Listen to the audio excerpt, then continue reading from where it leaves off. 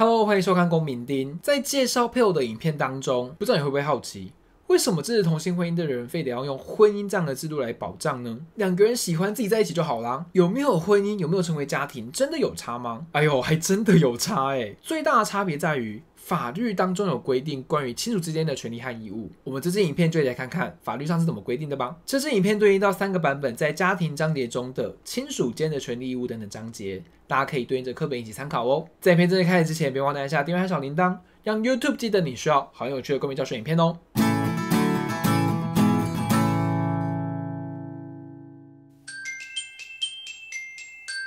在开始介绍民法当中关于亲属间权利义务的内容之前，我觉得必须要先理清一下法律在家庭当中扮演的角色。你可能会想，家庭里面的权利义务应该是我们自己家的事情吧？为什么需要法律来规范呢？而且，如果真的遇到了问题，我们家自己来沟通协调，不就解决了吗？真的会有人依照法律的规范来行使家庭之间的权利义务吗？虽然这是国一下学期的内容，但我想根据你的生活经验也可以理解，法律只是我们生活当中许多标准的。其中之一，而且我们的社会是不可能单靠法律来维系的，势必要靠着更多伦理道德，甚至是彼此互相谅解才能达成的。所以，虽然我们会介绍许多法律当中规范的亲属间的权利义务关系，但不代表着你只要依照法律来善尽义务就足够，也不代表着你从家庭当中可以获得的就是法律规范的这么多。反过来说。这只是代表着，当有纠纷发生时，我们可以用法律这个明确的标准来告诉我们该怎么样来解决纷争。这也是法律被称为最低限度的行为准则的原因哦。我们就先从亲子间的权利义务关系来讨论起吧。因为家庭通常是我们最早接触到的团体，也是我们学习怎么跟人相处以及理解整个世界的起点。如果我们没办法从家庭获得这些教养的话，我们就很可能没办法正常的长大成人。也因此，法律就规定，身为未成年子女的我们，在家庭中享有获得保护与教养的权利，而父母或监护人也必须负担起对我们保护与教养的权利与义务。这种父母对子女保护跟教养的权利和义务，我们就把它叫做侵权。这边你可以发现，侵权虽然叫做权，但它的概念是同时具有权利跟义务的，也就是父母可以对未成年子女保护跟教养。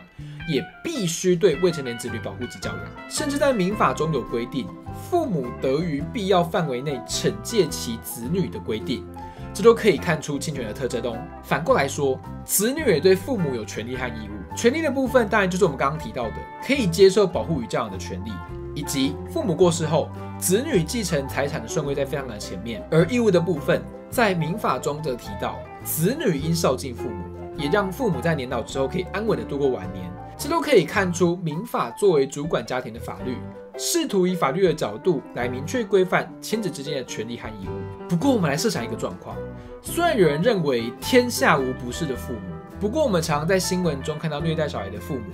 对于这样的爸妈，却还要求小孩长大后要孝顺父母，或反过来说，小孩长大后没有善尽奉养父母的义务。却想要继承父母的遗产，这样是不是太过分了呢？没错，民法在这个地方做出了稍微弹性的规定。我们刚刚讲的权利可能会被取消，义务也可能得以免除。虽然父母对子女享有侵权，并且可以合理管教，但如果滥用了这个权利，例如明显侵害子女的人格或尊严，就可能被法院认定为滥用侵权，进而由法院判决停止父母的侵权，或要求父母负起相关的法律责任。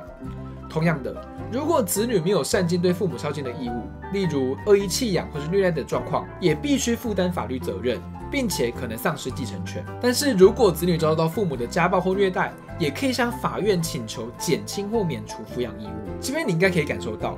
法律是一个权利和义务相应而生的东西，父母与子女互相都对对方有权利和义务。父母可以教养子女，也必须教养子女，但同时还确保了父母可以老有所终，子女可以安稳的长大成人，继承父母的遗产，但也必须负担起孝敬父母的责任。这就是民法在这个地方所要传达的精神哦。看完亲子间的权利义务之后，我们来看看配偶之间的权利义务吧。首先，最重要的就是共同分担家计以及抚养彼此。这段话说来简单。但共同和彼此这几个字真的是细思极恐啊！在家务分担上，常会变成是只有一方要负担起养家的责任，而如果是双亲家庭，又变成两个人工作都很累，结果回到家，其中一方又要继续做家事。所以这个共同分担家计跟抚养彼此，是两个人对对方同时拥有的权利跟义务，而不单只是某些事情是我的事，那些事情是你的事。既然两个人结婚了，那就是两个人的事情，这个才叫做配偶。另外，配偶也有代理彼此家务的权利，例如最常见的就是代收包裹跟信件。家里有挂号的时候，就由配偶其中一方去收就可以，或者由其中一个人负责采买日常用品。当然啦，这些事情都只在必要范围内，或者取得对方同意的范围之内，不能无上限的解释哦。下一个重点是，万一对方不幸过世，可以继承对方的遗产。这个也可以从前面的共同分担跟抚养彼此来理解。我觉得既然是配偶，你就用另一半这个词来理解就好。对方是你的另一半，所以要共同分担家计跟抚养彼此。对方过世又有权利继承遗产，日常生活中可以帮对方处理许多事情，这就是另一半的意思。不过另外要注意的是，配偶之间应该有相等的经济自主权，而且从事全职家务劳动的人也有权利使用部分的家庭收入。这边很多人。尤其是家里只有一个人赚钱，负责赚钱的那一个人就会不爽了。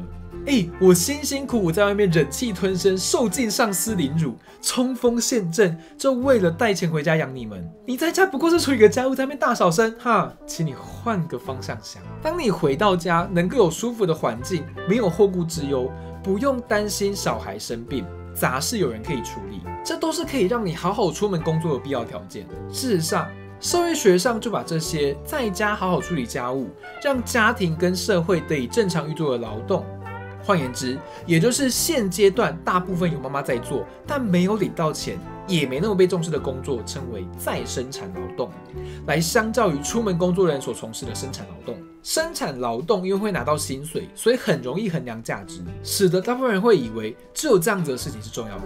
但如果没有负责家庭正常运作的再生产劳动，接出门工作的人是没办法好好放心的，这也是为什么配偶之间需要有相等的经济自主权，以及全职家务劳动者有权利使用部分家庭收入的原因哦。好啦，以上就是这影片的内容，这影片的内容稍微多了一点点，大家辛苦啦。今天想要跟大家讨论的问题是，你觉得你理想中的亲子互动模式是什么样呢？或者你现在和你家人之间的关系遇到什么困难呢？你觉得要怎么改善会比较好呢？欢迎你在影片底下留言哦，或者你觉得这个问题比较私人的话，也欢迎你到 Facebook 粉专上私信跟我们说哦。下一期影片我会继续介绍家务劳动跟性别平权，请大家一定要继续收看哦。如果你觉得这影片对你有帮助的话，别忘了分享给更多人哦。也记得顺便一个喜欢和订阅，让演算法记得你是一个喜欢用轻松有趣方法学公民的人哦。公民丁，下次影片见，拜拜。